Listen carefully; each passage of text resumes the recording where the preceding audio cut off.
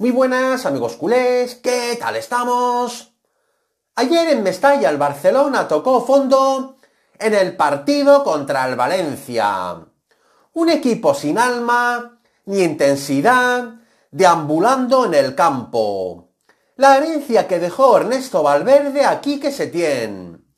Sin embargo, una de las cosas que quedó claras es que el equipo necesita un 9. Pues atención a esta noticia.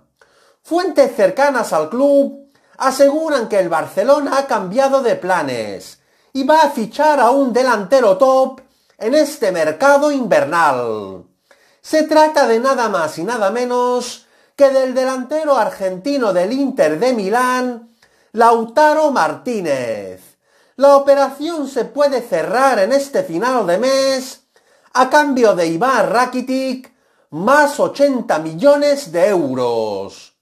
Esto ha sido mi notición de hoy, amigos culés.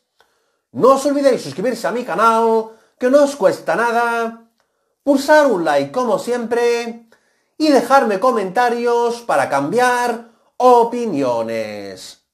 Muchas gracias y nos vemos muy pronto en mi próximo vídeo.